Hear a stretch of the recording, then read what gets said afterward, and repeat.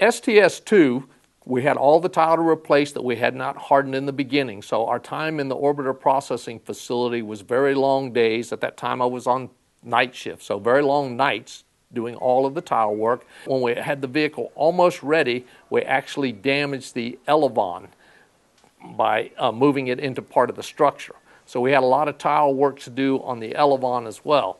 We actually finished installing the last of the tile on the elevon on seven layers of scaffolding out at the launch pad. And then we had an oxidizer spill on the forward reactionary control system. That's the front thruster section of the orbiter. It spilled down the side. It reacted with the paint that the tiles were glued onto on the aluminum skin, and it pretty much turned the paint to a liquid, so all the tile were potentially falling off the orbiter.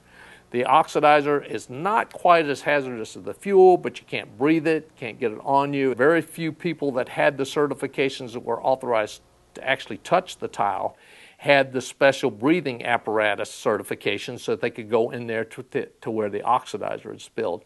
So myself and two technicians climbed up on temporary scaffolding 200 feet up at the launch pad and proceeded to hold the tiles on the skin of the ship while we started taking them off one at a time and putting them in special bags to go get them decontaminated and that.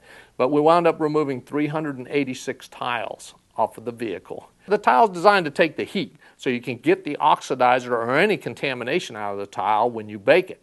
Well, Kennedy Space Center had very limited ovens, so we sent them down. Patrick Air Force Base had some very large ovens, and we sent them down there. But I understand by the time they got through heat cleaning the tiles that we needed cleaned, uh, we basically ruined their ovens.